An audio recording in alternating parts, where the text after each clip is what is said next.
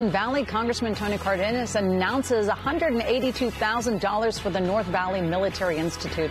The funding from the FCC's Emergency Connectivity Fund will help the school close the homework gap for students who currently lack internet access or the devices they need to connect to classrooms. According to the congressman, in LA County, there are still neighborhoods where as many as 30% of households do not have internet connections.